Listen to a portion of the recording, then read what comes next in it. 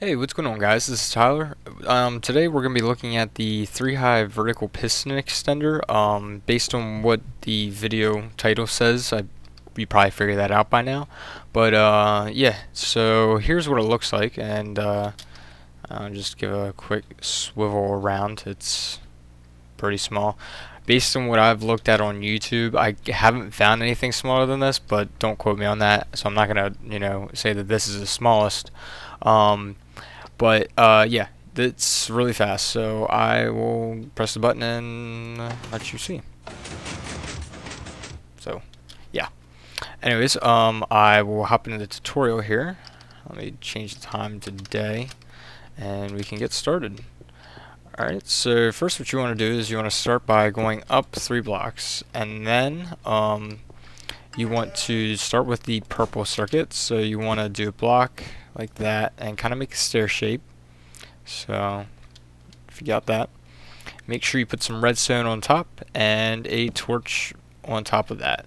And then you want to put another um, purple uh, purple wool and then a redstone torch and this is where the floor is going to be. This is the floor, so this is actually underneath. Um, well, this is how it works, anyways. That's if that were floor level.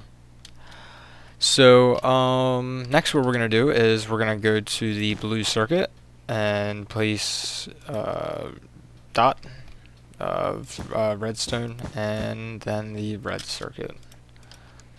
Alrighty and we're just gonna do the um, up sequence which is the uh, yeah yeah you should be able to figure out what the up sequence is and there is an enderman around me. Um, anyways uh, what we can do now is we can grab um, our input. This is gonna be like the power line I guess. Uh, blue light blue is gonna be like the power line if you wanna um, call it that. So I'm just gonna go ahead and grab a lever. And that was some bad lag right there. Uh, grab a lever and place it on top and uh, there is our up. Alright, now what you want to do is, actually you want to get rid of that and um, place some blue wool with some redstone on top of that. And uh, we actually want to invert a signal off of this on the side, which is going to be going into, I don't, I'm not exactly what kind of sure what kind of circuit this is.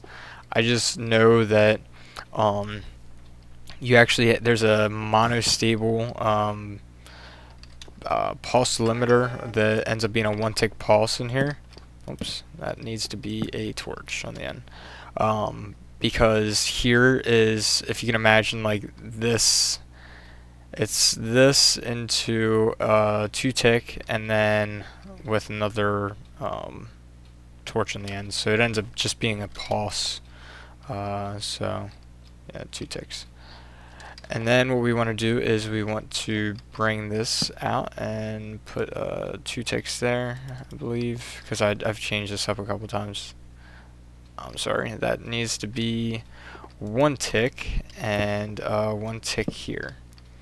So then what we want to do is we can go to the back side and we want to start with the purple and place a block there and block there make sure that you have redstone on top of each and then we can move over here to the blue circuit.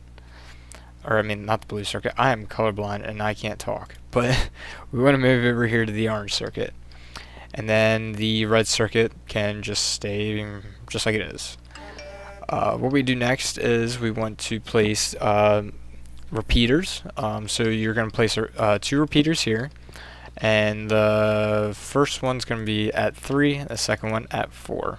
The next one is just going to have a redstone line come down, um, followed by, uh, how did I set this one up? Um, yeah, a repeater here. And then this one is going to have uh, two repeaters, uh, one at yeah, the front one at 2 and the back one at 3. I believe that makes it faster than uh, just 4 and 1, which either way it still ends up being 5. But I, I think there's somehow there's some like quirk or something or whatever um, with the redstone that makes it a little bit faster.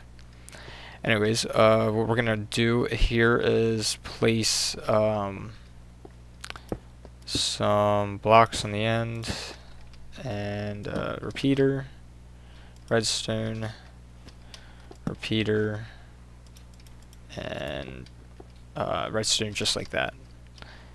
And uh, hopefully I wired everything right and we can give it a flick. And yeah, that's how it works.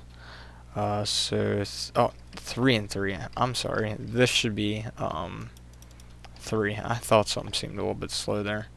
So, and up and down. There we go. Much faster, much faster. So, um, I will just kind of do a quick swivel just in case I got some of the timings wrong, but I don't believe I did. I believe everything looked right, and uh, yeah. There's your tutorial for the uh, 3 high vertical piston extender, and uh, see you in the next video guys. Later.